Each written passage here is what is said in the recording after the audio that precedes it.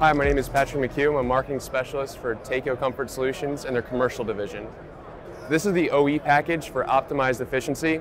It's a permanent magnet motor on our four main pump lines, the KV, KS, FI, and CI. So it's our end suction and vertical inline pumps.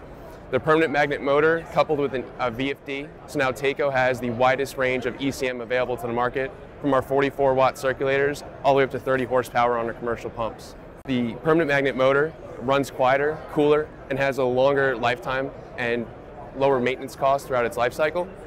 Uh, it also provides better efficiency uh, for the system so you can meet DOE requirements and, and really uh, go above and beyond what is required. We also have shown our new nameplate on our pumps that have the DOE basic model number and the PEI number, as well as the TACO tags. These are in the market as of December of 2018.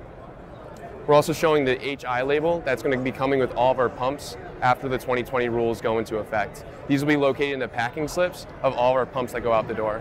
So these pumps are offered in 3 to 30 horsepower. The 3 to 10 horsepower models are TENV and they're offered at 230, 460, usable at 208 and 575. The 15 through 30 horsepower models are offered at 230, 460 and 575. They're three phase, 1800 RPM. So the wet end of this pump is the D model.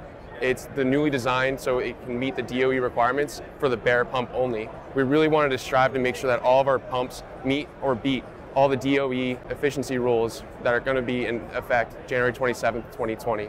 So you can find out more about the optimized efficiency package by going to www.tacocomfort.com slash OE hyphen package or contact your local sales rep.